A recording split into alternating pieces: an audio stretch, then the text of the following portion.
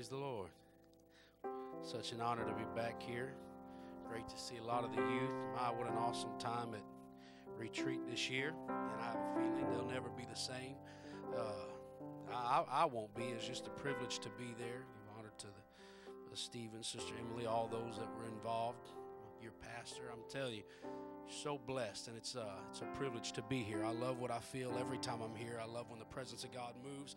If the presence of God is not going to move, then uh, we've missed it somewhere along the way. Because church is not somewhere you come. It's not a social club. It's not a social get. There's a lot of places we can go if we just didn't have anything to do tonight. There's a lot of things, you know. Could have got some more clothes washed. Could have got studied up. Could have got ready for work. Could have got a better night's rest. If it was just to come and spend some time, that doesn't do it. The reason we come is because there's a, longing in our soul, because we are doing the best we can. We're looking for answers. We're looking for a closer walk with Him. We're going through things. And we walk in here not with an expectation that I'm going to hear just a story. I'm going to say hello to some friends and I'm going to walk out. If that's the, that's the mindset, it's so easy to walk out with what God intended you to leave with. And uh, the, the mindset is to come expecting and believing that something is going to happen, that God is going to open my mind, open my heart, and that I'm going to receive something from the Word of God. I don't want to. I don't want to be like the, so many of them that sat at the feet of Jesus and they received a miracle and they, they got the bread, they got the fish, and then they walked and they left and they were hungry 12 hours later. I want something that, I mean, it stirs within me on Monday, Tuesday, Wednesday, Thursday. I don't want something that five hours from now it's already gone away. God, I want you to do something in my life that it will transform me forever. Amen. If you have your Bibles, I'm going to go to Hebrews chapter 6, starting at verse 18. Read two very quick scriptures and try to get into get into this. Hebrews chapter 6 verse 18 says that by two immutable things in which it was impossible for God to lie, we might have a strong consolation who have fled for refuge to lay hold upon the hope set before us. Which hope we have as an anchor of the soul, both sure and steadfast, and which entereth into that within the veil. Basically, what he's saying is those that were in need of a refuge can lay hold on a hope and we have a hope. He says, which hope we have as an anchor of the soul. I wonder if we could pray right now. Listen, I, have been doing this long enough to know that I can get hung up on what I want to do and I can mess everything up. But I've also done this long enough to know that if I can get me out of the way and you can get you out of the way, and we can say, God, whatever it is you want to do in my life, I'm open to that. You have to be open you have to be open. You, you can't get anything from anybody. You ever try to accept a gift with a closed hand? It just doesn't happen. You know, opening yourself up. Yeah, well, what if it hurts? What if it, what if it doesn't? You know, yes, if I when I open myself up to God, He takes some things out, but is but He also puts things back. He, he gives me joy unspeakable, which is full of glory. He gives me peace, which is past all understanding. There's so much that God can do when I allow myself to be open and say, God, would you open my heart and my, uh, my mind? Would you allow me to receive whatever you have for me? Can we do that right now? Lord, we come here not, not, not for our own, God, just to be here, just to say we were here, but Lord, we came that we may hear from you, that we may feel your presence, hear your voice. You know every need and situation that is represented here. Lord Jesus, I ask that you would have your way in each and every heart and mind and soul, that we would leave here changed by the power of your glory and your mercy. Ask that you would do whatever it is you're wanting to do in each and every one of our lives. And we thank you for it. We will be careful to give you all the praise and the honor and glory to your name, Jesus. Amen. And everybody said, Amen. Amen. You may be seated. You may be seated. An anchor is a. Uh, an anchor is an awesome thing. The Bible says we have an anchor. Well, it says, no, which hope we have as an anchor. Well, what is that hope? The Bible says, Christ in you, the hope of glory. He is our hope. And by this scripture, he says, He is the anchor of our soul. We have an anchor. It's a very important thing. If you've never been in a boat, you don't truly realize the importance of an anchor. But if you get in one, the value of it becomes important very, very quickly. We, um, where I live is right on the uh, edge of the Gulf of Mexico. We are literally, uh, if I walked out of my father's church and took a right turn uh, after five miles, I'd better be in a boat because there's no more land. And so we, we'd go out there and not knowing just a whole lot about boats as far you know we'd go in the rivers the lakes and all that but not very familiar with anything past that atmosphere but we had got a uh, we had purchased a boat my brother and i and we were very excited and we went to look at it and boy we were checking out all the features boy good motor i mean it's a nice sized boat this is really nice and we started looking and boy i mean we got just i mean it, it was amazing we didn't get one anchor we didn't get two anchors the boat came with three anchors. I thought, my goodness, we can go anywhere we want. We can go all the way out into the middle of the ocean. We have three anchors. Every boat I've ever seen only has one. We are a triple threat. We have three anchors. Nothing is going to move us. And boy, I told my friend, I said, hey, do you know where we can catch some of the bigger fish? He said, oh man, there's a place you can go out right on the edge of the Gulf. I mean, the water's a little rocky. I mean, he said, a little rough. He said, and the current's pretty strong. I said, but I've got three anchors we can go wherever we want to go. You just point me in the right directions. And so, but we got out there and we got out to where he said was a good place where they'd been able to catch some rather large sized fish and bull reds is what they are. It's a big red fish. He said, Oh, this is good. So we got out there and no, you know, one anchor is really all you need. No sense in getting the others wet. So I just threw out one anchor. I thought that'll be good. A little while later, I barely turned around. He said, You have a problem. I said, What's the problem? He said, Look, Boy, we were pulling that anchor. I mean, we were just moving. It didn't work. I said, hey, it's all right. Put your mind at ease. There's more where that came from. I went to the back of the boat and I threw out the other two anchors. I just, you know, I didn't have to. I figured, you know, we'll just go ahead and make sure we don't go anywhere. So I've got three anchors in the water. We got our lines. We, we, boy, we cast it out there and we barely set our poles down. And he said, this ain't working. I looked up every line we had plus the ropes that were attached to the anchors were all going that way and we were still passing up shoreline. I got a broken anchor. It doesn't work I can't believe this. Boy, I was so frustrated. I started pulling the anchors up. I mean, I, I don't know who put who put these here. I don't know who bought them. I, I don't I don't know how a anchor becomes you know dysfunctional. I, I don't know eh, I don't know exactly what's causing it not to work. But we're going to check it out. So, well, we loaded up. There wasn't no sense in fishing there. We couldn't stay anywhere. And so we got on the boat. I went by a marine shop and I went in. I said, Hey, we got a problem. He said, Well, I said, well, Am I not throwing them in the right place? Do I need to put them a certain way? He said, Well, what's the problem? I said, My anchors don't work. They're not doing what they're supposed to be doing. He said, Well, let me look at them. So he came out and he looked at them. He said, Oh, no. He said, The anchor's fine. You just don't have the right kind. I said, What do you mean? He said, Well, these are just perfectly fine if you're out in the middle of a lake or if you're over here in one of the canals. He said, But you're out there on the edge of the Gulf. He said, Man, those are entirely different currents. He said, Those are strong currents. These things don't have anything that grab anywhere. He said, These you're just pulling them along. You're just a dead weight. He said, You've got to have something that'll get a grip in that earth and that it'll hold you. He said, You just don't have the right kind. I've never met anybody that didn't have some type, or most, haven't hardly met anybody that didn't have some type of a walk with God or an understanding of God. The problem is, a lot of times, if I'm not careful, I can become comfortable with the fact that I have a knowledge of God or a walk with God and fail to realize the strength of how, what kind of walk with God I have. Some people have a walk with God that does great when the bills are all paid and nobody's lost their job and nobody's sick and the car starts on the first time and man, the, the house is warm. It's supposed to be warm. There's the rain doesn't come. Oh man, they, they can run the aisles, they can worship, they can pray. They've got a great kind of, but you let something upset their day. Let the dog bite them in the morning. Let the kids go to back talking. Let the car quit starting because of your beloved snow and all these things. And some of us, boy, that walk with God, all of a sudden, it ain't enough to hold us anymore. And we start drifting off into places we wish we never would have gone. We start talking a little different. We act a little different. Our attitude changes. Our demeanor changes. Why? Because we had a walk with God that works fine when there are no problems, but not, not a prayer life that's deep enough to anchor me when the, when the doctor gives me a bad report, and not a, not a walk with God that's faithful enough that it keeps me when there's a thousand things going wrong in my life. Not just any kind of walk with God will do. I don't need just anything. I want to walk with God in a prayer life that is strong enough. I want to know Him good enough that when I'm in the middle of my darkest trial, it still doesn't shake my faith in Him. I don't want, what happens is, and I'm not saying, well, you man, you're saying I do this? No, I'm saying I've done this. I'm saying I've had to get to some places where I had to develop a stronger walk with God because there were some trials I went through that I started questioning just who God was. Is He real? Is He this? Is He that? Oh, well, I don't know if God, and kind of find out God is everything He said He was. But my knowledge of Him and my walk with Him were not enough to the point where I could believe Him no matter what I was going through.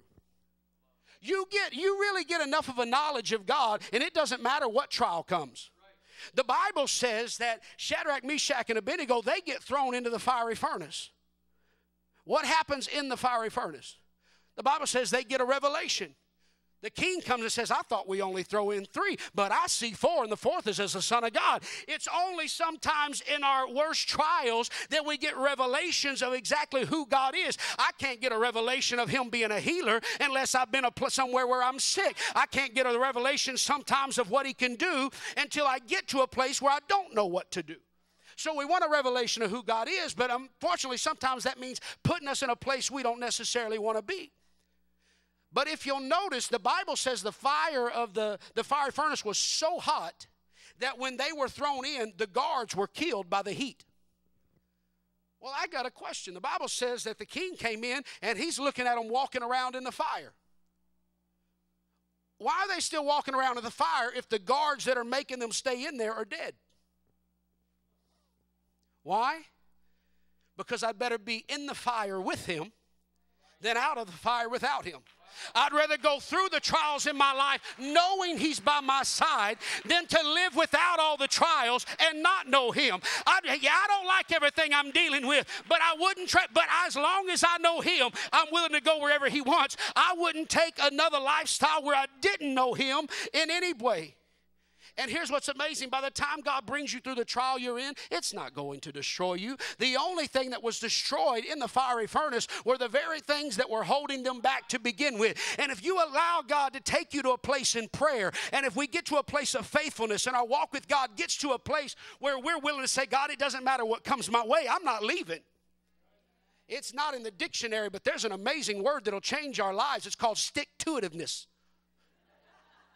I don't know who made it, but they ought to put it in there. It's amazing what God can do when we just decide to stick with Him no matter what comes. Well, well, well I lost my job, but that, don't worry, God, that don't affect me and you. It may affect some things, but it doesn't affect my praise. It doesn't affect my worship. It doesn't affect my relationship. Oh man, I got a bad report from the doctor and I don't like it. But don't worry, God, it don't affect me. It don't affect my worship. There's some things it just doesn't affect. And we just make up in our mind, I'm going to be faithful no matter what.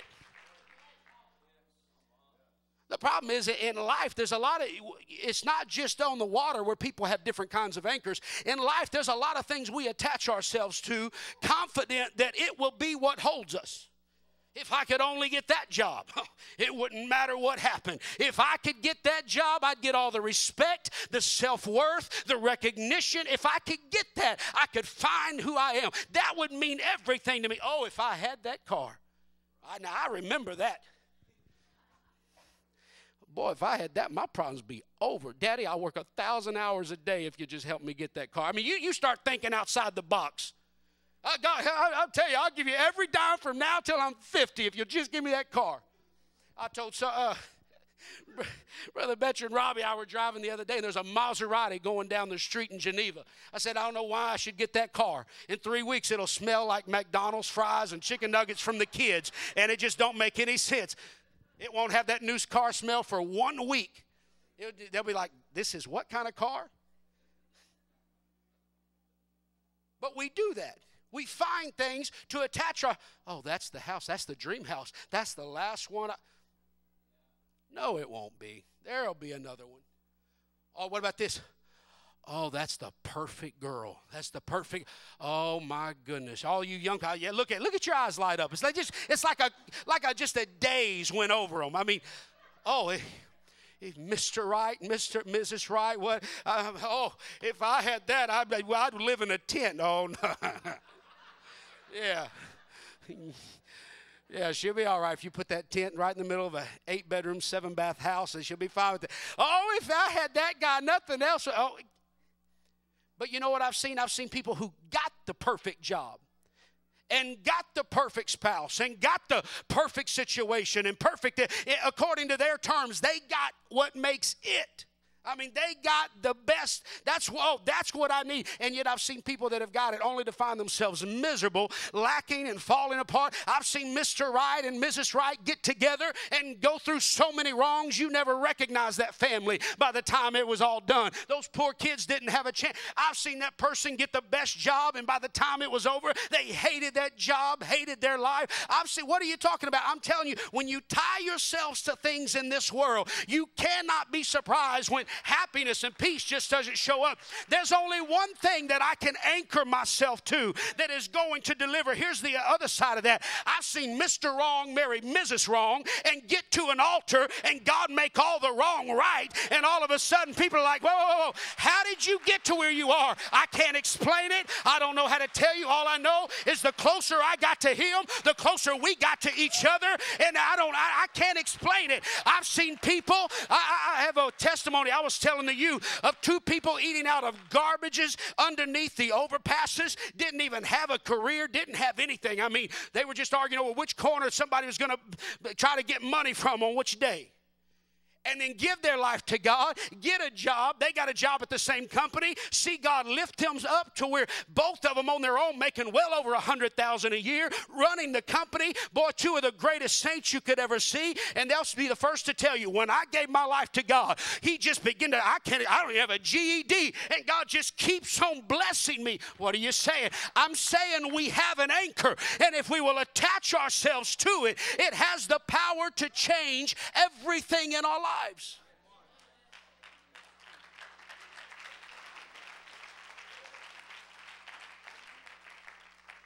But that doesn't make sense. Why? Well, because if we have an anchor that is so readily available, then how many, so many lives are falling apart?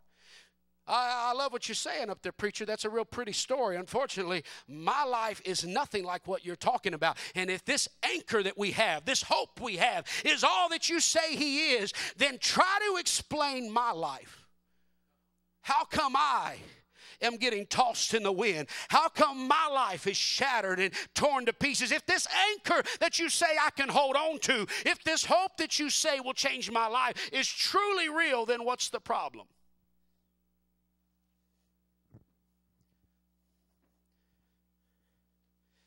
Had a buddy a while back, different place. They were going fishing. There's, there's a place there called the Livingston, Lake Livingston. And uh, what a lot of the guys do is they'll go up to the Livingston Dam because when that when that dam opens and that water starts rushing out, it is the best place to fish. When all the bait come in, boy, those white bass just go crazy. They go into a feeding frenzy right there. I mean, really, they will limit out. They can just, I mean, it is amazing what they do. And one gentleman, he was out there, a friend of mine, he got in his boat and he was so excited because he had an anchor. And I don't mean some anchor. I mean, he had the anchor. I mean, if you go into the store and say, hey, give me something that will hold a house. I mean, he had, I mean, the boat's probably two of these, but he had an anchor probably half the size. I mean, he was excited about it. He said, Well, what I'm going to do is I'm going to get right there in the middle of the river. Everybody else is over on the side, but I'm going to get right in the middle and I'm going to put this anchor out, and that way I'm going to be able to fish where nobody else is able to fish. He got out there, boy, you could see him getting that anchor. Boom!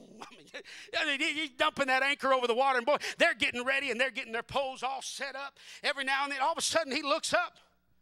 They are down the river and they are moving. They got the worst place there is. Everybody else is closer to where they need to be than them. Oh, boy, he's frustrated. I mean, he is just, he's like, I can't believe this thing's, it's not working like it's supposed to. Boy, he gets all the way up there.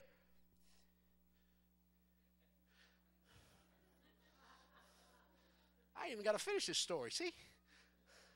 What do you think's at the end of that rope? A loose knot. That anchor, what about the anchor? The anchor did everything it was supposed to do. The question is who tied the knot? The question, we love to sing the song, the anchor holds though the ship is battered. The anchor holds, though the sails are torn. The problem is not the anchor. The anchor always has been and always will be what he said he will be, and he will always do what he said he will do. The problem is not does the anchor hold? The question is who holds the anchor? Because as long as I've got free will, I decide how closely I am wrapped up in Him. It can be a little bit or it can be a lot. Doesn't matter. Oh, I got the best anchor in the world. It doesn't matter if you don't know how to attach yourself to that which you are putting your hope in. You can't tie just any kind of knot. You got to be careful. If the anchor is valuable, but the only value the anchor is to you is if you are connected to it. I'm going to use you, brother. You know, what I tell you, I'll just lose this so I won't single anybody out. This is how some of us are. Boy, I love my walk with God. I'm going to tell you, it's, man, I love what Brother Betcher's been preaching. I love this church. Man, I've got such a strong, man, I finally got an anchor in my life. It's going to make such a difference. I'm gonna, I mean, it's going to change, change my world. Well, it's not changing much that way. Hold on.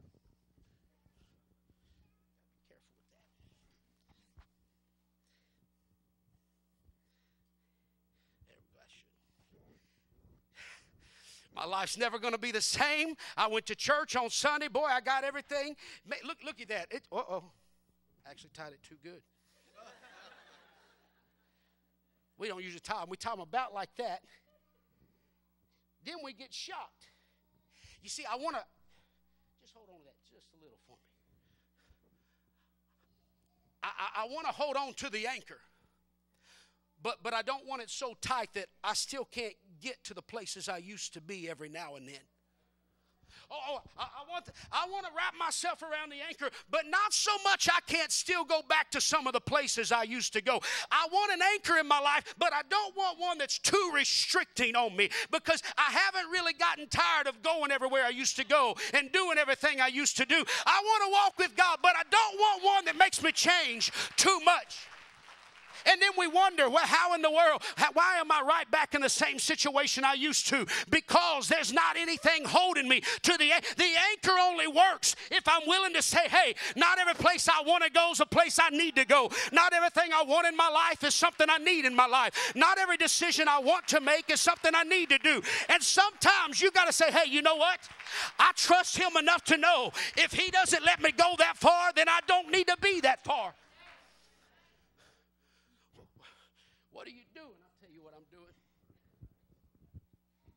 You look a little ridiculous. That's all right. I'd look a lot more ridiculous if I went back to the places I used to be. My praise may look ridiculous, but you should have seen me before I got a hold of Jesus. Oh, I know my sacrifice and the way I dress may look funny. You should have seen how I used to be. Oh, you think the way I worship looks weird. You should have seen some of the things I used to do. You think I'm crazy now. You should have seen me before Jesus got a hold of me.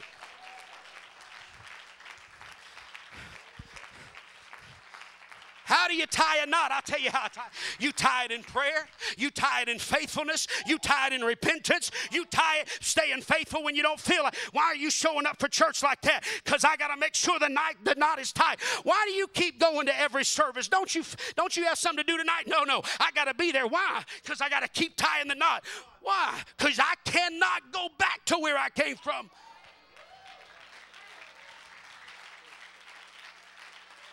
Come here, brother. Come here. Boy, what are you doing? Oh, I don't just need a church, I need a man of God. You don't understand. I need somebody that'll tell me when I'm wrong, tell me when I'm stepping too far. I can't always see things from my point of view. I need a man of God that's willing to say, hey, you're not going to like this, but you need to make some changes. I need the church, but I need the man of God. I need a walk with God. I better tie it around prayer. I, fight, you got kids? Come here, Brother Stephen. Hurry, hurry, run, run, run. Who's over Sunday school? Get here quick. Come here, brother. What are you doing? You don't understand. I got kids. Oh, I want them to be successful in high school and all that. But you know what I want more than anything? I want them to make it to heaven. Brother Stephen, whatever you do, I want my kids involved. Come on, hurry, hurry. We're running out of time. What are you doing? It's just Sunday school. Oh, no, this ain't Sunday school. This is where they learn about what we believe. This is where they learn about what a walk with God does. I don't. What are you saying? I'm telling you, if you get yourself wrapped up in the church and wrapped up in your pastor, wrapped up in doing something in the youth, if the more I attach myself to the things of God,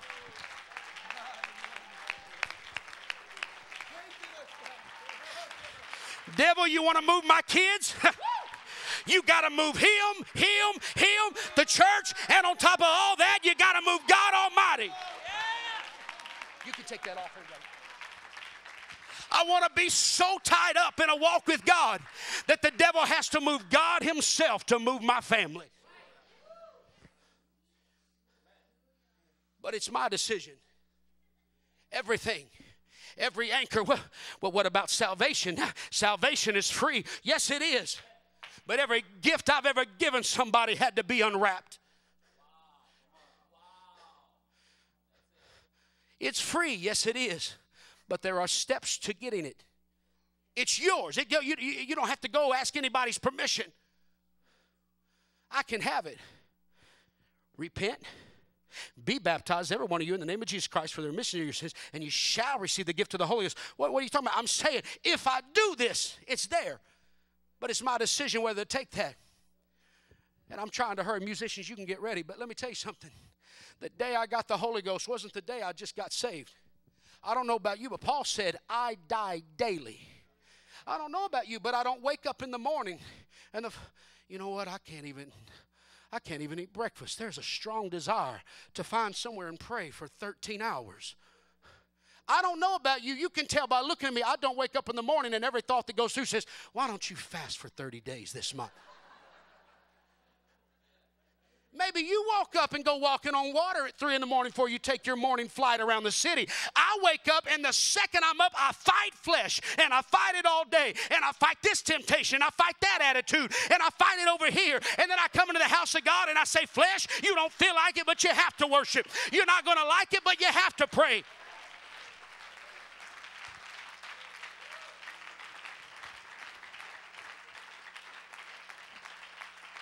After Peter says these things, let me tell you something. I, have been married for a little bit. I'm going to get myself in trouble. I just know it. I don't know how you came to have a walk with God or how you got married. I, I was in love with my wife when I was 16 years old, but she didn't want nothing to do with this guy. And looking back, I can blame her because if my daughter ever falls for some guy like me back then, Don't pray for me, pray for him. pray for me too. I don't like prison. I couldn't get her attention to save my life. Way down the road, about 24 years, uh, about 24 years old, she came to a church thing. We ended up meeting, getting this. Anyway, she, she left her Bible at our church. I know, spiritual. And she called, she said, Hey, could you bring me my Bible? I said, No, you can't get this Bible. I said, You can get it one way. She's like, How am I going to get it? I said, You can go out to eat with me and I'll give you your Bible. Otherwise, I'm giving it to somebody. She said, Oh, okay, well, on Friday night, let's go eat. I said, Okay, that's fine, that's done. Well, I went and I looked through the pews where she told me she left it, and I found the Bible. It said her name on it. But there could have been a lot of people by her name, so I had to be extra careful. I had to open it up. When I did, I don't know at what point in her life she did this, but there was a page, and on it, front and back, she had listed everything she wanted in a husband. When I'd say it was over 80 things, I kid you not, it was every bit of it. I started looking at that, and I came to a revelation very quickly. she may be looking for a husband, but she ain't looking for me. I mean, it was detailed. Has to have nice hands, nice eyes, sweet smile, has to like old people, has to like babies, has to like middle people, has to love my parents, mama must lie. I was like, this, this, is, this is crazy. But I was in love. I finally had my chance. Now, you can say whatever you want to say. I don't care. I got the girl, and it's all fair in love and war. I made a copy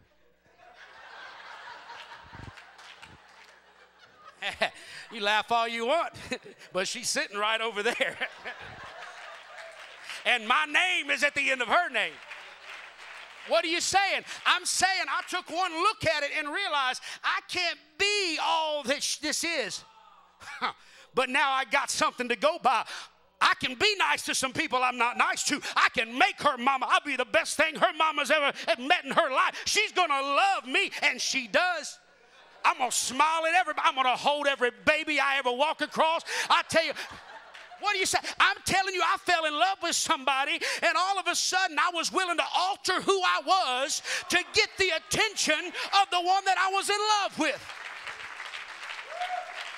I took one look at the word and I realized The place that He's preparing for those that are ready is not a place that I'm ready for. He said, But that's all right. Look, these are the things that you can do to become who I called you to be.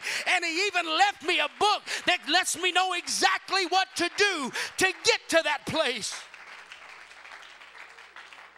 If I love Him.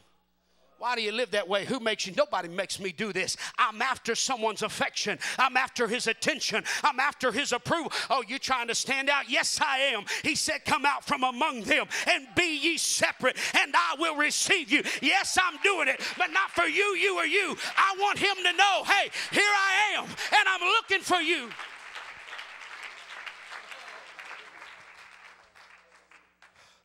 So then, what prevents us from making that connection. We have an anchor. It's stronger than any cancer. It's stronger than any sin. It's stronger than guilt. It's stronger than condemnation. There is a walk with God and salvation that is unlike anything else. It's enough to save the very worst person that has ever lived. And I have the opportunity to get a hold of Him. Then what prevents us? The worst thing I think we ever learned in the Garden of Eden was not how to sin. The Bible says, And he heard thy voice in the garden, and he said, I was afraid because I was naked and I hid myself. And he said, Who told thee that thou wast naked? Hast thou eaten of the tree whereof I commanded thee that thou shouldest not eat? And the man said, The woman whom thou gavest to be with me, she gave me of the tree, and I did eat. And the Lord God said unto the woman, What is this that thou hast done? And the woman said, The serpent beguiled me, and I did eat. Were it just sin, I believe God could have dealt with some things right then and right there. But probably one of the worst things we ever learned in the Garden of Eden was how to blame somebody else. Oh, look what you did. Oh, no, no, no. You don't know where I came from. It's not my fault. Oh, you don't know, you know what she did, you don't know what he did, you don't know what I've been through. Oh, you don't understand the upbringing I had. And we have perfected the art of blaming somebody else for where I am. Well, the church doesn't love me enough.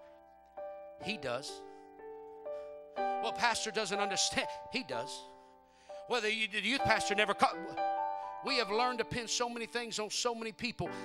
Why? It's what we learned the greatest tool the enemy can use against us is to blame somebody else, get bitter, and get offended because when we do that, we block ourselves from the first step. Oh, I, but I can be baptized. I can be do this. I can do that. I can go. Yes, you can. But the first step, repent. Not the words. You know what repentance is? I messed up. I made some decisions. I, but, but, but, but you know what? It's really not your fault. I've had people sit there and tell me, oh, but if you don't understand, you, you have to understand. Don't be too hard on yourself. You don't, I'm not trying to tell you not be, to be harder. I'm trying to say you got to be honest. To say, I'm here because I made some decisions that weren't right. There are some things in my life today because I took some turns I should not have taken. I messed up and I repent. What does that mean? Is that just words? No, I repent means I was going this direction and I don't want to go there anymore. And so I'm turning and I'm going a different direction. It's not just saying I'm sorry. I talked to someone the other day and they said, Oh, you, you, they were about to make this decision that was just is going to hurt so many people. I said, Why are you doing this? They said, Oh, I, I know you're not going to like what I'm about to do. I'm sorry. Would you forgive me? I said, You're not sorry. How can you tell me I'm not sorry? I said, You are apologizing for what you are about to do. You hadn't even done it yet. True sorrow says, I don't want to be that anymore. I don't want to do that anymore. I don't want to say that anymore. I don't want to go there anymore. Repentance isn't turning away. So, for those of you that walked in here needing something from God and not sure how to start it, you may be saying, I don't even understand all this stuff. I don't, it's easy. The first thing is say, God, I don't know even what to do, but I know one thing. I don't want to go the direction I'm going anymore. My heart is hungry. i have got this burden inside. There's some things that are just messed up. This isn't what I wanted my life to be. I don't know how to correct it. But I'm sorry for everything I've done. Would you forgive me? Quicker than you can say it almost. He, he's not holding nothing against you. But for those of us that have come through that and wondering why we're still where we are, she said, I do, and we got married. But if you think that the first month we got married, that was just the. I thought I knew her before we got married. I'd only ever seen her after her hair was fixed. She'd only ever seen me after, you know, you spend 30 minutes in the mirror, make sure you were presentable. Afterwards, you see them when they're not in the best of moods. You see them at their worst. You see them at every. What are you saying? I'm saying it's only once you get married that a husband and a wife truly begin to find out who each other is and begin to develop a relationship. Yet some of us, our walk with God stopped getting any deeper the day we received the Holy Ghost. Peter said, Repent, be baptized, every one of you, for the name, in the name of Jesus Christ, for the remission of your sins. You shall receive the gift of the Holy Ghost, and that's it. But you go a little bit further that, and he goes on, he says, Save yourselves from this untoward generation. What, what, do you mean? I, I just got saved. He said, No, no, you started the relationship right there. But after that, now God's going to open your eyes. And as He does, I, He wants you to increase in faithfulness, to go deeper in prayer than you've ever been before. Pastor, hey, I don't want to be the same person I've been for 20 years. I want my walk with God to go deeper than it's ever been before. I'm not satisfied. I don't know what you're going through. And you can stand with me. I'm closing. Let me tell you something. There is a God that loves you so much. He is stronger than absolutely anything you're fighting right now. And some of you are asking this question What in the world? What's going on? How come it seems like my life is going here and going there? What, what, what? I would examine myself tonight. What is it I've tied myself to so tightly? Is there something else in my life that takes all my attention and all my affection? Is there something else that is the most important thing to my life? If it's not an altar that I'm tied to, if it's not a walk with God that drives me more than anything else in my life, then it's time to cut some things and say, God, there's only one thing I want directing me. My family's too important to be held and tied to anything else. God, I am going to open my hand tonight, and I don't know what you're taking out, but I don't care. I have a hope. The scripture, if you look at it, if you go back to it, in Hebrews chapter 6, verse 18, at the end of that verse, it says, to lay hold upon the hope. He is everything He's ever said He was. But the only way it begins to affect my life is when I lay hold on it. The altar by itself, under you take up this carpet, it's wood. It's wood like any other wood. You could probably match this carpet at a lot of places. Then what, what makes the difference at it? What makes it different, it, must, it makes it special, is when I come in this place and I offer Him everything I am. And I say, God, I'm not leaving here the way I came.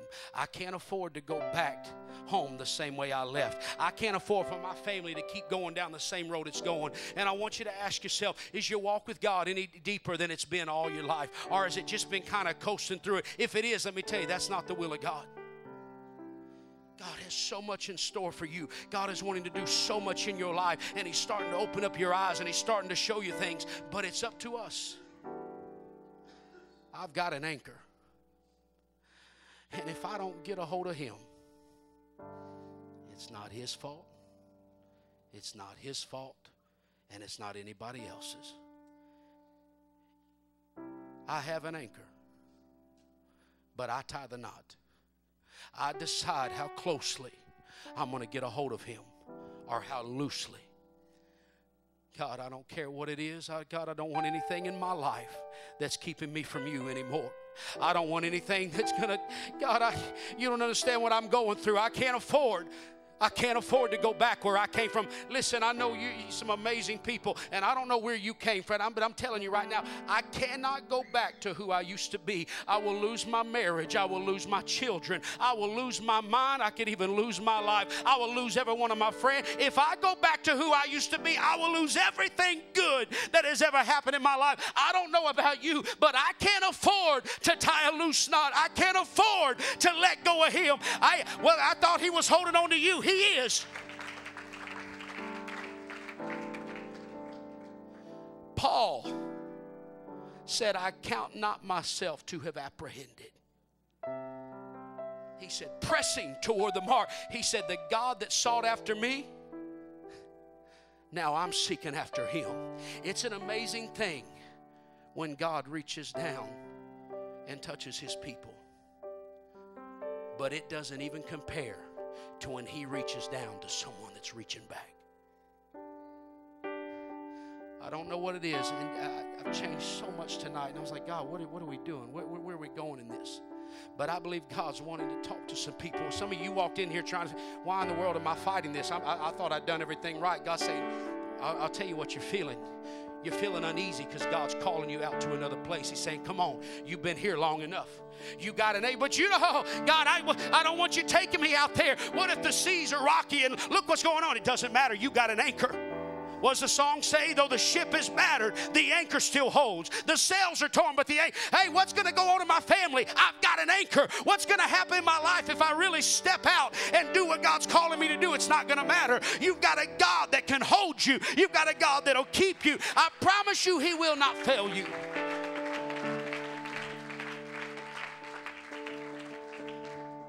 I wonder if there's anybody in this place tonight said, you know what? I don't even know exactly how tight I'm tied to Him. I don't really know what my walk with God could even stand. I, I, don't really want it to be tried out because I don't know exactly if I really was going through the fight. I'm not exactly sure that my walk with God would carry me through some of the battles that I'm dealing with right now, and that's not okay with me. If that's what you're feeling, let me tell you, why don't you find somewhere around an altar and say, God, I'm not satisfied here. God, I want to, I'm going to be forth faithful like I've never been faithful. I'm starting to pray like I've never prayed. I'm changing some things in my life. It's not okay for me just to go through the motions anymore. God, I, I don't just want a knowledge of you. I need to know you. God, I'm tired of prayer meetings as usual. I'm tired of just coming up and, and just going through the motions. God, I need something to change. So would you search me, God? If there's anything that I'm holding on to that's trying to pull me away from you, take it, God. And if you walked into this place and you're saying, God, I don't even know who you are. I've heard people talk about you. I've heard people mention what you did for them, but I don't know you. But I know I'm tired and I know I'm I know I'm weary. I don't want to be here anymore. God, I don't know if you're real. I don't know what to do. My friend, all you've got to do is begin to open your heart and say, God, I'm crying out to you tonight. Would you search me? Would you let me feel your presence? Would you let me know you're here? I know I've done some things that aren't right. Would you forgive me for everything I've done that's wrong?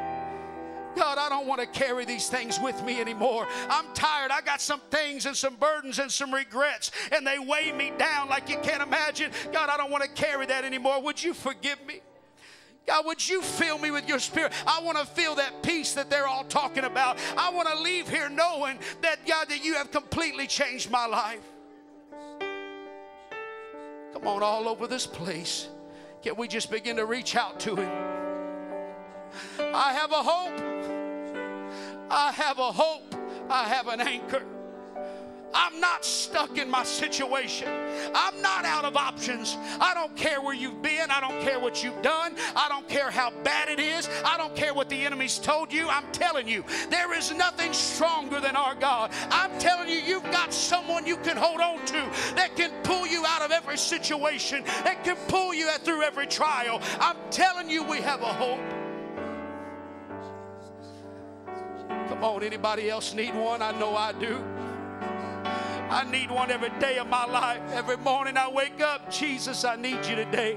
I need you to keep your hand on my family. God, keep your hand on my marriage. God, keep your hand on my children. Protect my mind, God. Protect me, God. I need you. God, I need to know you like I've never known you before. I need to hear your voice like I've never heard it before. Come on, does anybody else? Does anybody else need him like that?